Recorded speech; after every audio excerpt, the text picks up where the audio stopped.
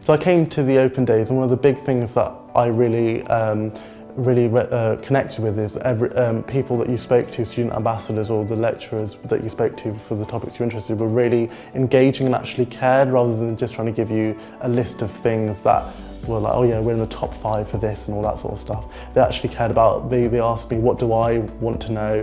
What do I care about? And that was something that really stuck with me. Not to mention all the facilities and services that the university offers, um, pastoral, academic, uh, emotional and also clubs and societies as well.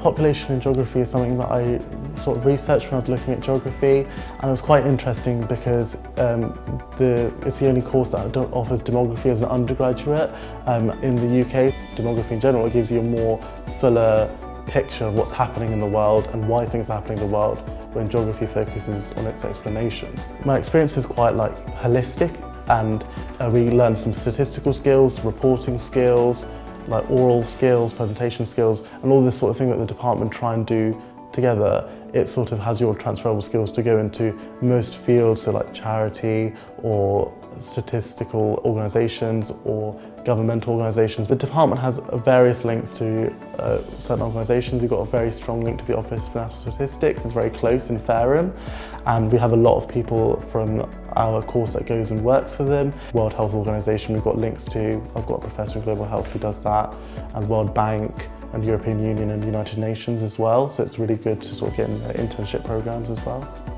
I chose Southampton uh, over you know places like Oxford and Cambridge because even even though it may be uh, they may be higher, actually the communities that you that were that I saw at um, university and actually still having a really good research excellence was, was more important to me as a combination and I feel as though that's what university should move towards having more of a holistic approach to student life and student academia which is what Southampton's already really good at innovating.